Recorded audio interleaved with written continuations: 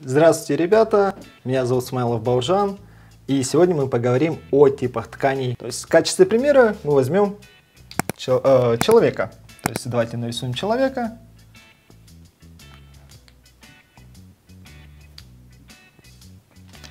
Э, теперь выделяет четыре основных типа тканей. Самый первый это э, тип ткани, который находится, э, может находиться снаружи и внутри. То есть это у нас эпителий.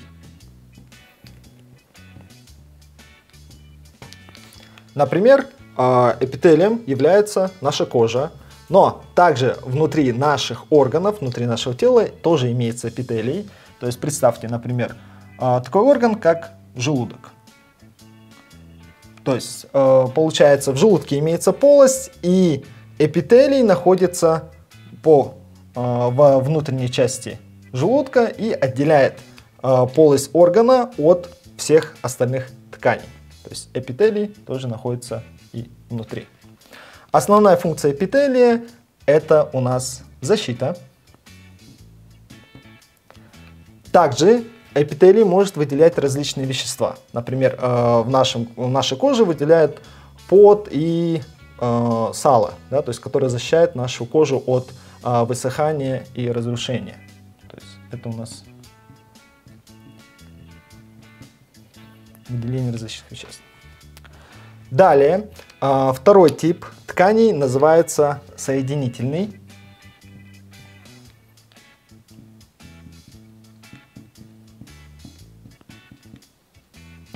Теперь, а, соединительных типов тканей в нашем теле достаточно много, и они выполняют различные функции. А, давайте по ним пройдемся. То есть один из первых типов тканей, о котором хотел поговорить, это у нас костная ткань. То есть Кости является соединительным типом тканей. То есть, давайте нарисуем, э, скажем, здесь у нас рука, и здесь у нас имеется косточка. Да? Э, второй тип тканей соединительных является у нас это жировая ткань, которая отвечает за запасание питательных веществ а, и обеспечение механической защиты, то есть а, смягчение различных физических ударов. А, третий тип тканей это у нас а, то есть это жидкая. К ним относится кровь и лимфа. То есть кровь является жидким типом ткани. А, четвертый тип это у нас пищевая ткань. Хрящевая ткань, она находится а, вместе с костной, то есть, например, а, на поверхности различных суставов и между различными костями. То есть для того, чтобы обеспечить а, эластичность и подвижность нашего скелета. Далее это мышечный тип.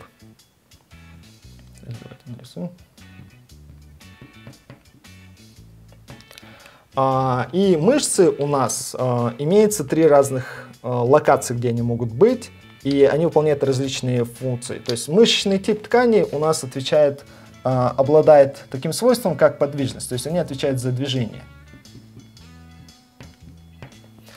И движение может быть разным. То есть может быть движение нашего тела, то есть это, за это отвечают скелетные мышцы, которые находятся обычно на поверхности костей. То есть это первый тип, это скелетный. Далее у нас имеется отдельная мышца, которая отвечает за движение крови по нашему телу. Это сердце, сердечная ткань мышечная.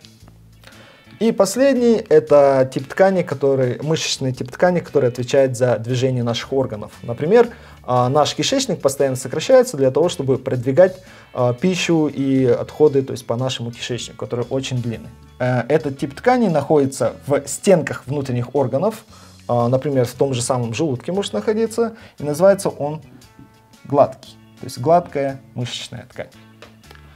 И самый последний тип из всех э, крупных типов это у нас нервная ткань.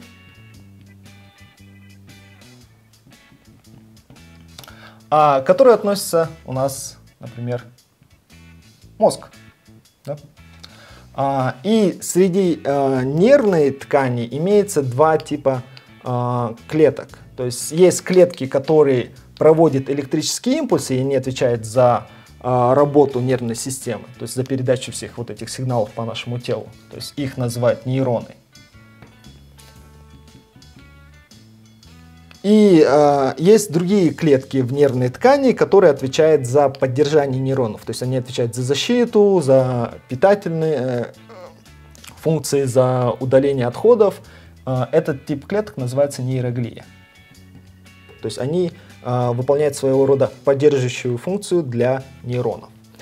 Это у нас все основные четыре э, типа тканей. То есть давайте по ним обратно пройдемся. Первый тип тканей это у нас эпителий который отвечает за защиту и выделение различных э, веществ. Второй, э, вторая группа тканей – это соединительные, к которым относятся костная ткань, жировая, жидкая, такая как э, кровь, и хрящевая ткань.